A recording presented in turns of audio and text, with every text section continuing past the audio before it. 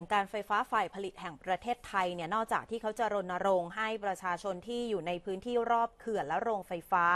ห้ามจุดไฟเผาป่าหรือว่าวัชพืชแล้วนะคะ ก็ยังร่วมกันกับคนในชุมชนเนี่ยตั้งเป็นทีมขึ้นมาเป็นทีมเฝ้าระวังไฟป่า เพื่อร่วมกันทำแนวกันไฟ แล้วก็จัดทีมดับไฟป่าค่ะ เพื่อที่จะดูแลป้องกันถ้าเกิดไฟป่าเกิดขึ้นในจุดไหน จะส่งทีมที่เคลื่อนที่อย่างรวดเร็วเนี่ยค่ะเข้าไป เพื่อที่จะควบคุมสถานการณ์ นอกจากนี้ก็็ยังไปจัดทำโครงการฝายชะลอน้ำรอบพื้นที่เขื่อนของกฟผด้วยนะคะ เพื่อเป็นการเพิ่มความชุ่มชื้นให้กับผืนป่า แล้วก็ลดโอกาสการเกิดไฟป่า